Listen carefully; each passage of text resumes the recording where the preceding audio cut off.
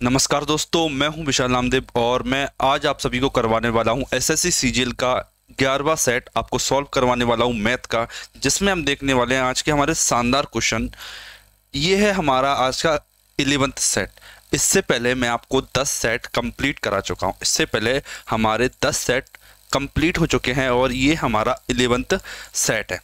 ये कंडक्ट हुआ था हमारा 18 जुलाई शिफ्ट थ्री 18 जुलाई शिफ्ट थ्री को ये सेट कंडक्ट हुआ था। ये जो एग्ज़ाम आप दे रहे हो, कोई भी एग्ज़ाम हो, उसमें सबसे ज़्यादा अगर क्वेश्चन पूछे जाते हैं तो वो पूछे जाते हैं एसएससी पीवाईक्यू से।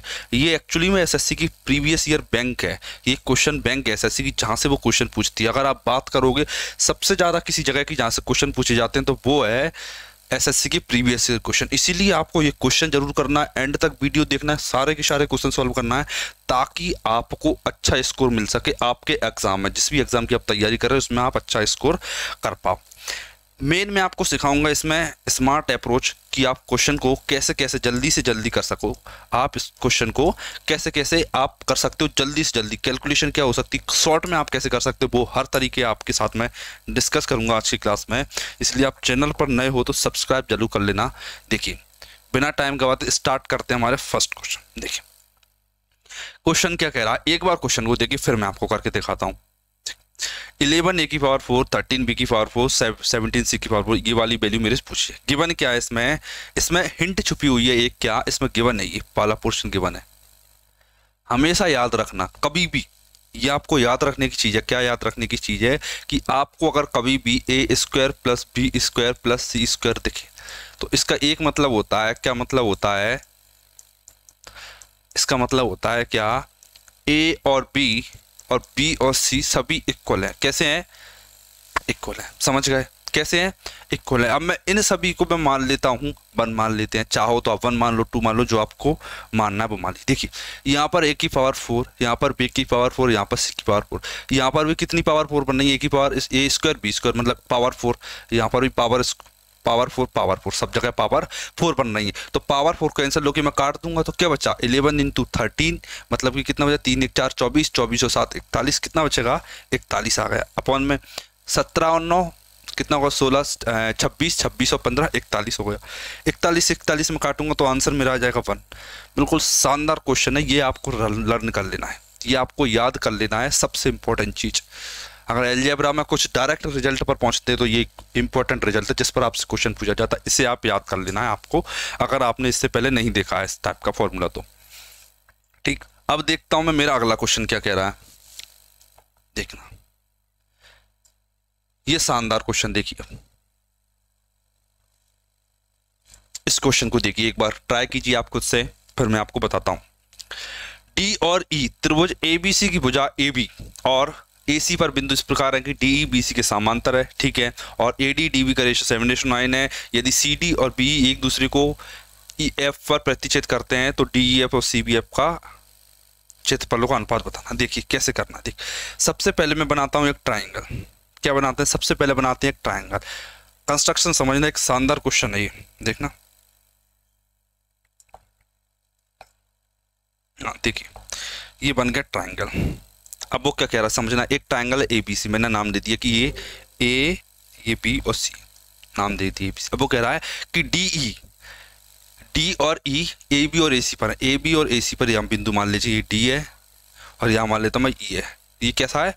ये कैसा है? पैरल है।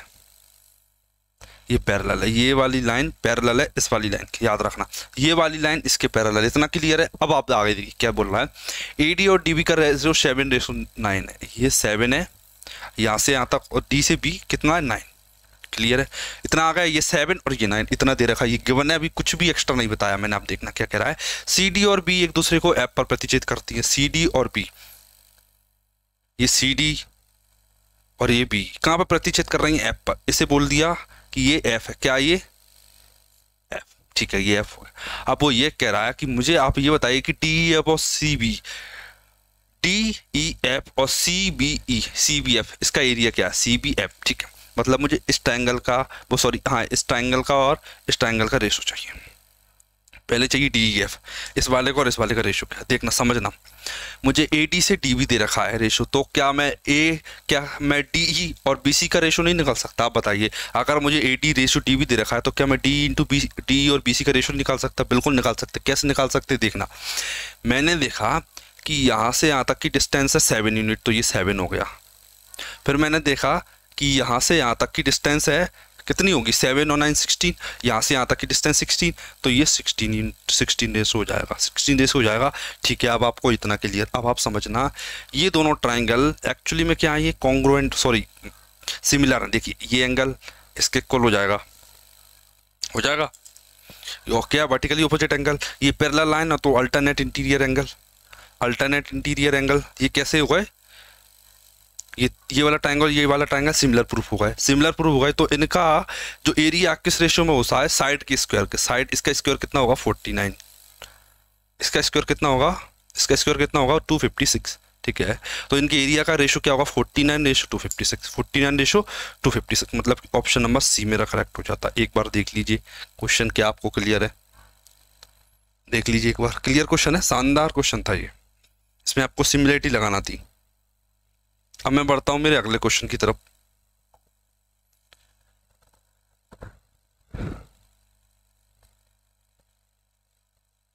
ठीक है, इस क्वेश्चन को करके बताइए। इस क्वेश्चन को कीजिए। देखिए एक बार क्वेश्चन को पढ़िए, क्या कह रहा है?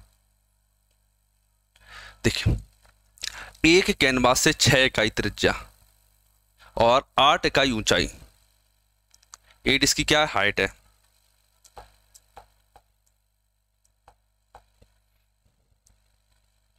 त्रिज्या, ये इसकी ऊंचाई, तंबू बनाया जाता है, इसके लिए कितना कैनवास की आवश्यकता होगी? देखिए, ये क्या रेडियस रेडियस कितनी दे रखी है मुझे?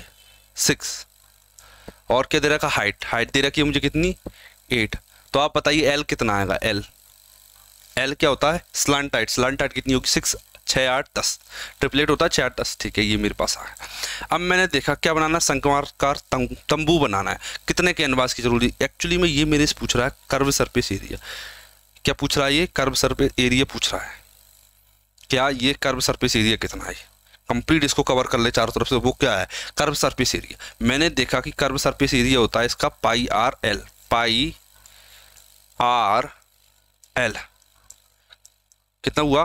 साठ साठ गुणा बाईस छः दुनी बारह, एक सौ बीस, एक सौ बीस गुणा एक, तीन, दो, एक ज़ीरो, अपन में सात। सेवन से डिवाइड किया तो मैंने सात कम सात छः सात, छप्पन चारों तो छः सात, आठ, छप्पन। One eighty eight point something मतलब ऑप्शन नंबर ए मेरा करेक्ट हो जाता है, एक बार देख लीजिए इस क्वेश्चन को आप। देखिए।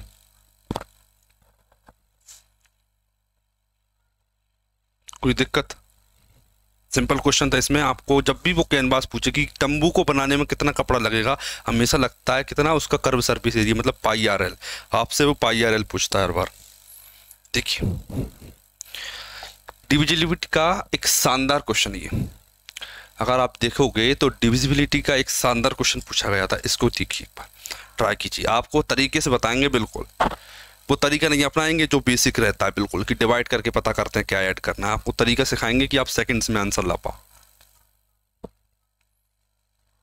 वैसे तरीका ये कहता है कि 35 का डिवाइड 35 का डिवाइड इसमें दीजिए आप। 35 का डिवाइड एट एट में दीजिए, कुछ रिमाइंडर आएगा।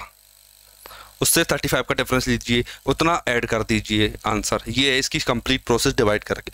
लेकिन मैं ये बात जानता हूँ, क्या बात जानता हूँ, कि मेरे से ये पूछ रहा है वो कि पैंतीस से पूरी तरह से विभाजित हो जाए पैंतीस से। मैंने देखा पैंतीस से विभाजित होने के लिए उसे फाइव से और सेवन से विभाजित होना चाहिए, पाँच से और सात से कंप्लीट डिविजन होना चाहिए, ठीक है? अब आपको एक बात और पता है क्या? अगर कोई संख्या पाँच से विभाजित है, या तो उसके एंड में ज़ीरो होना चाहिए, या तो उसके एंड में पाँच होना चाहिए। आपको सब पता है ये, कि अगर कोई संख्या पाँच से विभाजित है तो उसके एंड में या तो ज़ीरो या फाइव होना चाहिए। अब आपको इतना भी पता है कि नंबर एंड में अगर ज़ीरो और फाइव है, तभी वो फाइव से डिविजुअल है। मैंने देखा कि यहाँ पर एंड में एट है। एट है। एट को मुझे ज़ीरो बनाने के लिए टू ऐड करना पड़ेगा। समझना। एट को मुझे टेन बनाने के लिए मतलब एंड में ज़ीरो बनाने के लिए टू ऐड करना पड़ेगा। या फिर मैं इसे अगर फाइव बनाना चाहूँ तो आठ और सात पंद्रह मुझे चार जोड़ना पड़ेगा, समझना। मैं यहाँ दो जोड़ूँगा तो ज़ीरो हो जाएगा। अगर मैं आठ और सात पंद्रह जोड़ूँगा तो पाँच आएगा एंड में पाँच आ जाएगा। अगर दो जोड़ता हूँ तो एंड में ज़ीरो आएगा सात जोड़ता हूँ तो एंड में पाँच आ जाएगा, ठीक है? समझना। दो जोड़ूँगा तो सात, दो जोड़ूँगा तो ज़ीरो सात जोड़ूँगा तो पाँच। अब मुझे चाहिए दो या सात आना चाहिए एंड में। मैंने देखा यहाँ पर दो है। यहाँ पर दो या सात नहीं है, यहाँ पर एंड में दो या सात, यहाँ पर नहीं है यहाँ पर दो या सात नहीं है। केवल एक ऑप्शन पॉसिबल है ऑप्शन नंबर ए जिसमें एंड में दो है। अगर आप इसे इसमें जोड़ दोगे तो ये नंबर पैंतीस से पाँच से विभाजित हो जाएगा। पाँच से होगा तो कोई ऑप्शन ही नहीं है ऐसा, जिसमें और पाँच से विभाजित हो रहा है तो यही नंबर सात से विभाजित होगा। मतलब ये नंबर मेरा पैंतीस से विभाजित होगा। ठीक है? इसी तरीके से आपको इस क्वेश्चन करना है। ठीक है इस क्वेश्चन को देखिए एक बार।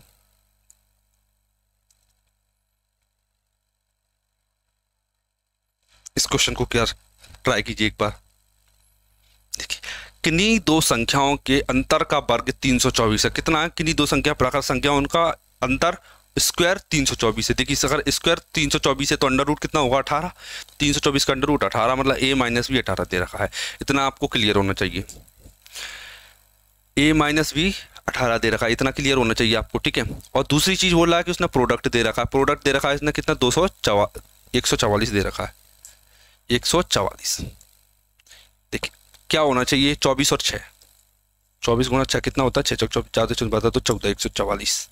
मतलब चौबीस और छः का अंतर होता है अठारह, चौबीस गुणा छः होता है, चौबीस गुणा छः चौबीस गुणा छः एक सौ चवालीस, चौबीस में छः गया तो आठ।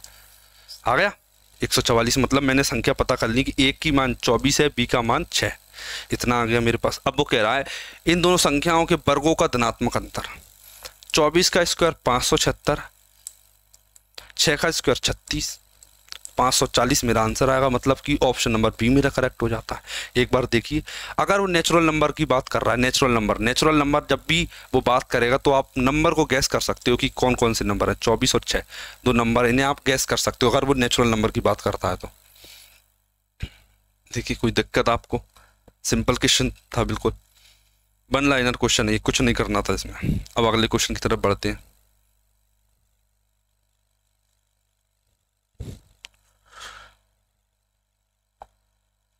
ठीक? है इस क्वेश्चन को करके बताइए। देखिए।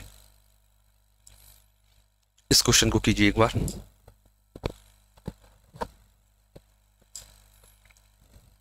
बोर्ड मास का सिंपल क्वेश्चन है ये। किसमें?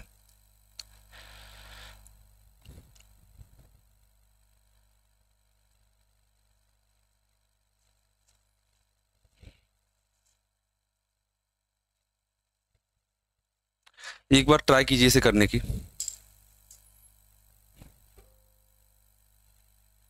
फिर आपको करके दिखाते हैं। सिंपल क्वेश्चन है, बिल्कुल।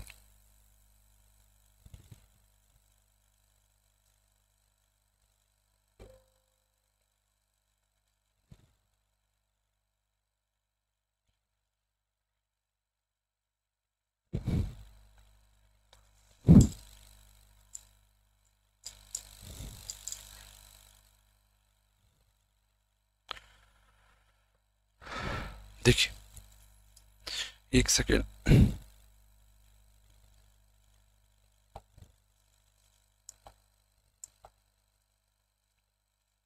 एक सेकेंड वेट करना।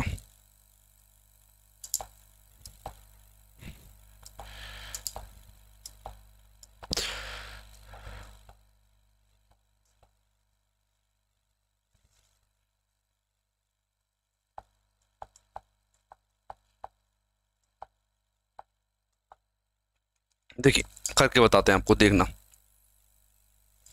देखिए, इससे करूँगा मैं ब्रेक कर करके। कैसे करेंगे? ब्रेक कर करके इसे सॉल्व करेंगे। देखिए।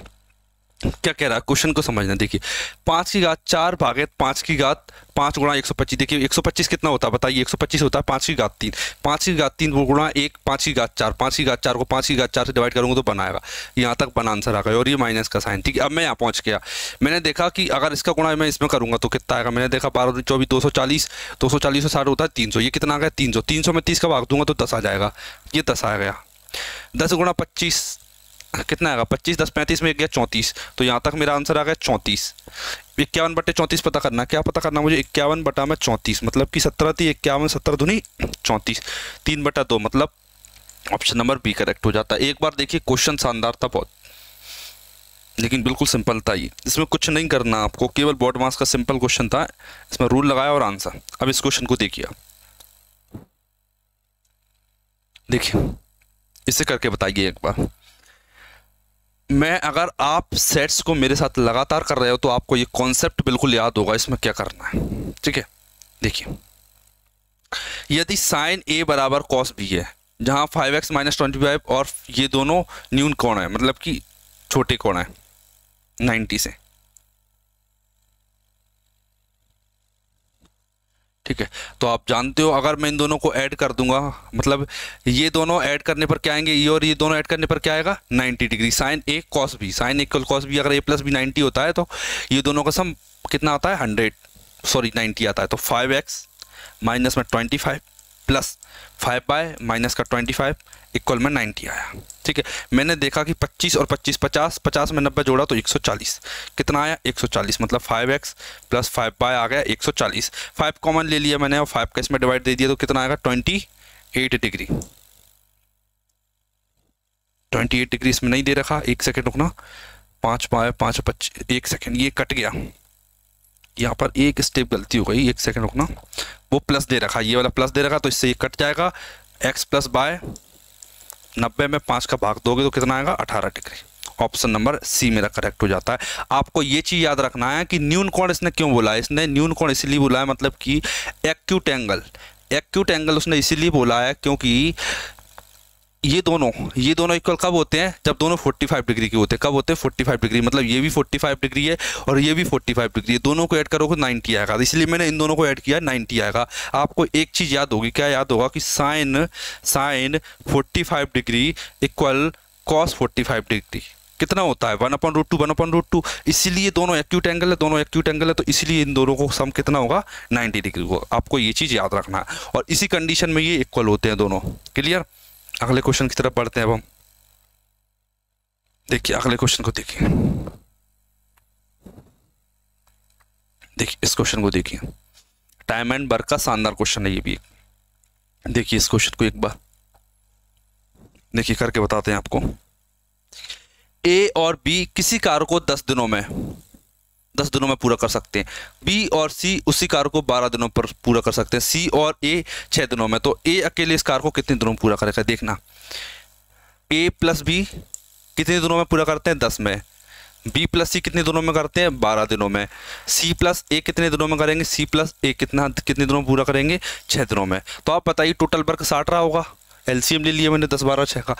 इसकी एफिशिएंसी कितनी आएगी? दस। दस में डिवाइड किया तो छः इसकी कितनी आएगी? बारह, पाँच, साठ। इसकी आएगी कितनी? दस। देखिए। A B plus B C plus C A कितना होगा? Two A plus B plus C कितना होगा? Two A plus B plus C होगा। बिल्कुल होगा। इनको ऐड के छः पाँच, ग्यारह, दस। इक्कीस इक्कीस हो गया। अब मैं दो से इक्कीस काट दिया, दस दशमलव पाँच आ गया, दस दशमलव पाँच, टेन पॉइंट फाइव आ गया। अब मुझे एक ही फोकस करना है, एक की एफिशिएंसी चाहिए, मुझे क्या करूँगा मैं? एक ही एफिशिएंसी के लिए दस दशमलव पाँच में से बी प्लस सी माइनस कर दूँगा मतलब कि मतलब कि पाँच माइनस कर दे कितना आया? पाँच दशमलव पाँच। बस आपको इस पाँच दशमलव पाँच से साठ काट लेना है। साठ में भाग दीजिए, पाँच दशमलव पाँच, एक सौ बीस बटे में ग्यारह। ऑप्शन नंबर सी मेरा करेक्ट हो जाता है। फ़ेमस पैटर्न है एसएससी में हर बार पूछा जाता है इस टाइप का पैटर्न किसी ना किसी सेप्ट में आपको ये पैटर्न ज़रूर देखने को मिलेगा। दो पर्सन जब एक साथ काम करते हैं। ए प्लस बी ने किया बी प्लस सी ने किया और सी प्लस ए ने किया। एफिशिएंसी निकाली, साठ आया। टोटल वर्क साठ आया। एफिशिएंसी निकाली छः पाँच, दस आ गई। A plus B plus C का काम निकाला, दोनों को ऐड किया, आधा कि छः पाँच, ग्यारह ग्यारह और दस, इक्कीस इक्कीस का आता होता, दस दशमलव पाँच। A plus B plus C का काम आ गया। ए के लिए बी प्लस सी माइनस करूँगा मतलब दस दशमलव पाँच में से पाँच माइनस किया तो पाँच दशमलव पाँच आ गया। पाँच दशमलव पाँच का भाग दिया मैंने साठ में। अब कैसे कैसे सॉल्व किया मैंने इसे? गौर से देखो, इसे डबल कर लो। साठ दूनी एक सौ बीस, पाँच दशमलव पाँच गुणा दो, ग्यारह आ गया। क्लियर सिंपल था ये? हाँ। अब इस क्वेश्चन को देखते हैं। क्या पूछ रहा देखिए।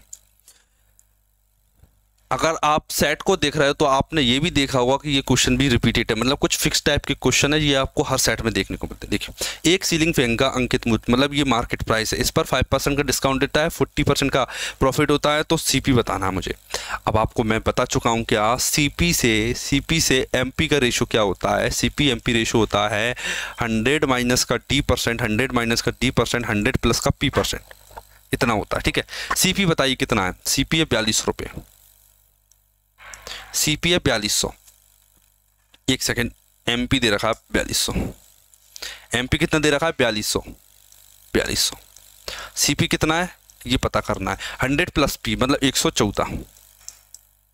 हंड्रेड माइनस डी सौ में से पाँच गया तो पिचासी। इतना आ गया? ठीक है, अब आप देखिए, मैं इसे सॉल्व कर रहा हूँ। सी पी इक्वल पिचासी बटे में एक सौ चौदह गुणा में बयालीस सौ। सॉल्व कीजिए एक बार से देखिए, कैसे होगा? सात कम सात, किससे कटेगा एक सेकंड, चौदह percent profit C P hundred plus P M P होता है हंड्रेड माइनस डी सही लिखा है। पिचासी, मार्केट प्राइस बयालीस सौ, ये कितना आया? पिचासी सौ। ये कट गया, ठीक है। चौदह थी बयालीस, सात एकम सात, चार से नहीं कटेगा, ये दो से कट जाएगा। इसे दो से काट लेते हैं एक बार, दो से काट लेते हैं। दो पाँच दस दो सात चौदह, दो से काटा, इक्कीस आ जाएगा, इक्कीस अभी भी आंसर नहीं आ रहा इसका तो उन्नीस से कट रहा है, ये पिचासी से कट रहा है। सत्तर, तीस, इक्यावन। एक सेकेंड, इसमें कहीं गलती हुई है। एक सेकेंड, एक माइनर सी मिस्टेक है, क्या? ये नाइन्टी फाइव है। कितना ये? Ninety five. ये नाइन्टी फाइव है तो ये भी नाइन्टी फाइव होगा। देखिए नाइन्टी फाइव हुआ। उन्नीस पाँच पंचानवे, उन्नीस दिए सत्तावन। पाँच और ये ती, तीन से काटा इक्कीस को सात सौ आ गया। सात सौ गुणा पाँच करोगे कितना आएगा? पैंतीस सौ। सात पाँच पैंतीस सौ। ऑप्शन नंबर डी मेरा करेक्ट हो जाता है। ठीक? एक बार आपको फिर से करके बताते हैं। देखिए क्या हो रहा है? देखिए एक बार फिर से देखते हैं। सी पी अपॉन में एमपी सीपी कितना था? ये मुझसे पूछा है। क्या पूछा है? सीपी पूछा है। मार्केट प्राइस था बयालीस सौ। मार्केट प्राइस दे रखा है इसमें बयालीस सौ। ये आया नाइन्टी फाइव ये आया कितना? एक सौ चौदह। उन्नीस पाँच पंचानवे, उन्नीस छक्का एक सौ चौदह, ठीक है? ये हो रहा है छः सात बयालीस। कितने गुना हो रहा है? सात सौ गुना, सात सौ गुना। इसका सात सौ गुना कर दीजिए, इसका सात सौ गुना कर दीजिए। कितना आएगा? सात पाँच, पैंतीस सौ। क्लियर है आप ऐसे भी कर सकते हो। ये डिजिट की वजह से गलत हो रहा था बस। एक बार देखिए क्वेश्चन को, समझिए, कोई दिक्कत आपको, कोई परेशानी? ठीक, अगले क्वेश्चन की तरफ़ बढ़ते हैं हम। देखिए, ये है सबसे सिंपल क्वेश्चन पढ़िए इसमें क्या कह रहा है? आपको इसमें गलत आइडेंटिटी बताना है फॉल्स स्टेटमेंट देखिए, मुझे पता है कि sine A equal tan into cos होता है, क्योंकि टेन ए को मैं साइन ए अपॉन कौसे लिख सकता हूँ कौसे से कौसे काटू तो साइन ए आएगा। तो ये वाला तो सही है, ये तो आइडेंटिटी सही है। Cosec square A minus one cot square होता है, ये भी सही दे रखा है। कॉस ए इंटू सेक ये भी वन होता है, लेकिन ये वाली गलत है। क्यों गलत है बताइए? क्योंकि फॉर्मूला ये नहीं होता फॉर्मूला होता है tan square A sec square A minus one tan square A equal sec square A minus one ठीक? तो ये वाला ऑप्शन मेरा करेक्ट हो जाता है ऑप्शन में। ये गलत फॉर्मूला बाकी ये सारे सही है, सारी प्रूफ आइडेंटिटी है ये। ठीक है, अब इस क्वेश्चन को करके बताइए। ये है मेरा अल्टरनेट इंटीरियर एंगल थ्योरम कौन सी? Angle bisector alternate angle bisector theorem अब इंटीरियर एंगल कैसे बाइसेक्ट होता है, ये आपको बताना है। देखिए, मैं आपको बता दूँ। देखिए एक्स बाई जेड एक ट्राइंगल है। एक्स बाई जेड एक ट्राइंगल है, जिसका एक बाइसेक्टर है। क्या? एंगल बाइसेक्टर कहाँ पर मिलता है? इस पॉइंट पर मिलता है। इस पॉइंट को क्या बुलाया? क्यू बाई जेट पर एक ऐसा बिंदु है बाई जेट पर एक ऐसा बिंदु कि एक्स क्यू कौन एक्स को, ठीक है। वाई क्यू और क्यू जेट वाई क्यू और क्यू जेट कितना दे रखा है? वाई क्यू क्यू जेट का अनुपात पूछा है ये। एक्स वाई चार दे रखा है, ठीक है। एक्स जेट कितना दे रखा है? उसने पाँच दे रखा है, ठीक है। देखिए। अगर आपको एक थ्योरम पता हो क्या अगर ये एंगल बाइसेक्टर है तो इन दोनों का जो रेशो है, इन दोनों का जो रेशो है वो सेम रेशो इसका होता है चार अनुपात पाँच। अगर ये चार अनुपात पाँच में तो यहाँ से यहाँ तक भी चार अनुपात पाँच ही होगा। मतलब कि ऑप्शन मेरा मेरा डी करेक्ट हो जाता है। देख लीजिए क्वेश्चन को एक बार। ठीक? अब मैं देखता हूँ मेरे अगले क्वेश्चन को। ट्रेन वाला क्वेश्चन है ये। टाइम स्पीड डिस्टेंस पर इस वाला, ये वाला पैटर्न पूछा है इसमें। देखिए। एक बार कोशिश कीजिए करने की से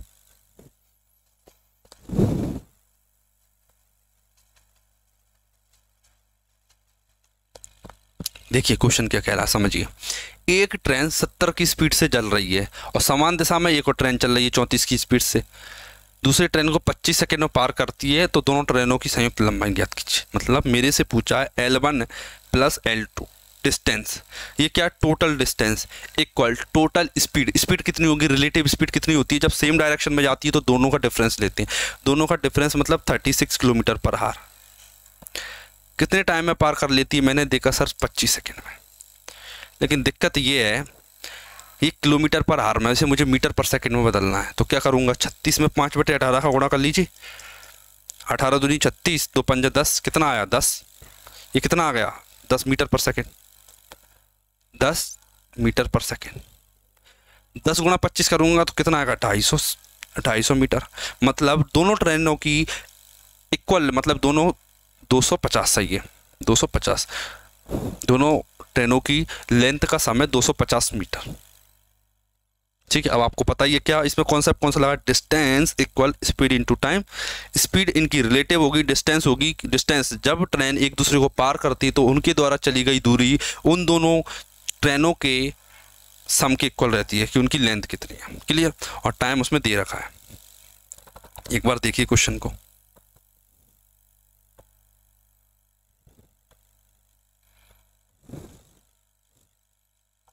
देखिए। अगले क्वेश्चन को देखते हैं अब हम। हाँ इस क्वेश्चन को देखिए। इसको दिखाते हैं। देखिए, क्या कह रहा है? समझना। एक निर्वाचन क्षेत्र की निर्वाचक नामावली में शामिल कुल लोग पिचासी परसेंट ने चुनाव के दौरान अपने मत डाले। ठीक है। मान ले हंड्रेड परसेंट लोग थे उसमें। बंदे पिचासी परसेंट ऐसे थे जिन्होंने वोट डाले अपने, ठीक है? पंद्रह परसेंट लोगों ने अपने वोट नहीं डाले। ये वो लोग हैं जिन्होंने अपने वोट नहीं डाले। पिचासी परसेंट लोग ऐसे जो अपने वोट को डाल देते हैं। ठीक है, आगे बढ़ा। डाले गए मतों में से दस परसेंट अभी हैं इसके भी दस परसेंट घटा दो। दस परसेंट देखो, इसका दस परसेंट आठ दशमलव पाँच होता है, इसका दस परसेंट आठ दशमलव पाँच होता है, आठ दशमलव पाँच इसमें से माइनस कर दीजिए। आठ दशमलव पाँच मतलब नौ माइनस कर लेता हूँ, नौ माइनस करूँगा तो पाँच और चार, छिहत्तर दशमलव पाँच आ जाएगा, छिहत्तर दशमलव पाँच परसेंट। ये वो लोग हैं जो बैलेट वोट हैं। क्या ये बैलेट वोट? जो मान्य वोट हैं वो, ठीक है। यदि मतदाता में तीन लाख, कितने तीन लाख लोग शामिल हुए थे तो धर्म को एक लाख सैंतीस हज़ार वैध मत प्राप्त हुए। तो धर्म में वैध मतों की कुल संख्या के कितनी परसेंट प्राप्त की? देखिए देखिए, अगर 100 लोग वोट डालते हैं समझना अगर 100 लोग वोट डालते हैं तो छिहत्तर दशमलव पाँच परसेंट लोग ऐसे हैं जो बैलेट वोट है। इन लोगों के वोट को बैलेट करार दिया जाता है, ठीक है। मैंने देखा, वोट टोटल थे तीन लाख। वोट टोटल कितने थे? तीन लाख। वोट है मेरे तीन लाख। तीन लाख वोट। अगर मैं इसका छिहत्तर दशमलव पाँच परसेंट निकालूँ, कितना? छिहत्तर दशमलव पाँच परसेंट वोट निकालूँ। तो मुझे पता चल जाएगा कि टोटल बैलेट वोट कितने थे। मैं निकाल लूँगा बैलेट वोट कितने। मैंने देखा कितने बैलेट वोट कितने। तेरह वैध मत प्राप्त की। तो धर्म ने वैध मतों का, ठीक है? वैध मतों की कुल संख्या के इतने परसेंट प्राप्त की, ठीक है? मैंने देखा कितने वैध मत आएँगे।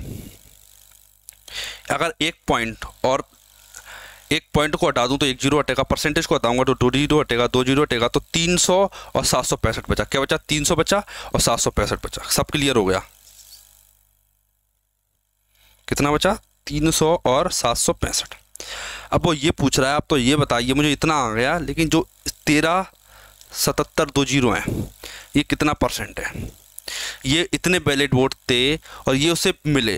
ये जितने उसे मिले ना, वो बैलेट वोट का कितना परसेंट है ये उसे निकालना मैंने बोला, सर, दो ज़ीरो से दो ज़ीरो कट गया। इन दो ज़ीरो को काट देते हैं, ठीक है? तीन से इसे काटना पड़ेगा। किससे कट रहा है? उन्नीस उन्नीस तीस उन्नीस चौक छिहत्तर, उन्नीस से नहीं कट रहा है पाँच से भी नहीं कटेगा, तीन से काट लेता हूँ मैं। ती चौक बारह, एक, ती पाँच पंद्रह तीन हम सत्तर ये आ गया। अब कैसे काटेगा ये? पाँच से पाँच चार नौ नौ, सात सौ छः तेरह, पाँच, अठारह, नौ से कट रहा है। नौ, पाँच, पैंतालीस, नौ, एकम, नौ नौ, पाँच, पैंतालीस, नौ, एकम, नौ नौ से काटा। नौ, आठ, बहत्तर छः चार बचा नौ, पाँच, पैंतालीस। देखिए, सत्रह तीन इक्यावन, सत्रह, पाँच, पचासी। ऊपर आया तीन, नीचे आया पाँच। तीन मटा पाँच कितना होता है? साठ परसेंट, आपको पता है। मतलब बंदे को जो वोट मिले ना, वो बैलेट वोट के सिक्सटी परसेंट थे, इसका मतलब ये। कितना आता है जो उसे वोट मिले उसका सिक्सटी परसेंट है। कैसे निकाला? समझना दोबारा बता रहा हूँ। सौ परसेंट वोट थे, पंद्रह परसेंट ने वोट ही नहीं दिए। पचासी परसेंट बंदे ऐसे थे जिन्होंने वोट दिया। लेकिन इसमें से भी दस परसेंट लोगों को अमान्य कर दिएगा, क्योंकि किसी ने दोबारा वोट डाल दिया होगा, किसी ने गलत वोट डाल दिया होगा, किसी का बहुत रीजन रहे होंगे। तो वो दस परसेंट आता है एट आठ दशमलव पाँच होता है। इसका पिचासी का दस परसेंट निकालोगे तो आठ दशमलव पाँच होता है। आठ दशमलव पाँच घटा तो छिहत्तर दशमलव पाँच आया। ये वो लोग हैं, हंड्रेड परसेंट में से छिहत्तर दशमलव पाँच वो लोग थे जिन्होंने अपने वोट का सही इस्तेमाल किया, जो वो बैलेट थे। तो मैंने तीन लाख का छिहत्तर दशमलव पाँच परसेंट निकाला तो इतना आया था, इतना। ठीक है। अब मैंने देखा इतना आ गया तो इसमें से जो वोट मिली है ना, वो कितने परसेंट है? तो परसेंट निकालने के लिए कुछ ऊपर, कुछ नीचे रखते हैं इंटू मैंडेट करते हैं। मैंने निकाला, तीन बटा पाँच, तीन बटा पाँच मतलब साठ परसेंट आ गया। बहुत शानदार क्वेश्चन था ये अभी तक का, ठीक? अगर आप इस चैनल पर नए हो ना तो चैनल को सब्सक्राइब ज़रूर कर लेना, क्योंकि आपको इसी टाइप से प्रीवियस ईयर के सेट आपको लगातार कराते रहते हैं और क्वेश्चन की प्रैक्टिस बहुत शानदार कराते हैं, ठीक? चैनल पर नए हो तो सब्सक्राइब ज़रूर कर लेना। मिलती है हमारी नए सेट में, नए क्वेश्चन के साथ में, नए कॉन्सेप्ट के साथ।